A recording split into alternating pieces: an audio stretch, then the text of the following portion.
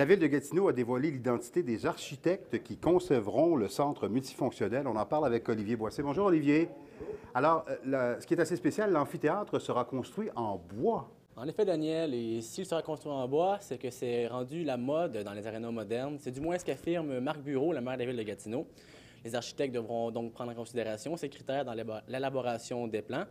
Parlant, des architectes, ils seront formés d'un consortium euh, de trois firmes d'architecture.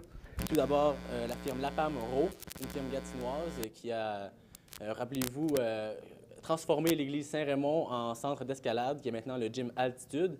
Il y a aussi, qui s'ajoute à cette firme, la firme montréalaise Lemay, également la firme Les Architectes du Saguenay. La valeur du contrat d'architecture est donc de 2,2 millions de dollars. Et puis, de quelle façon le bois sera utilisé pour construire l'amphithéâtre? Bon, euh, sachez d'abord que le bois sera utilisé euh, majoritairement à l'extérieur.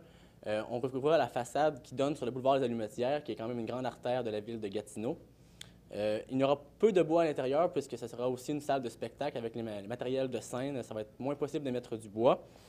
C'est beaucoup plus pour l'esthétique extérieure qu'on utilise le bois. Et euh, je vous rappelle que le centre ouvrira ses portes euh, en fin 2015. Merci beaucoup, Olivier, pour ces précisions. Je vous en prie.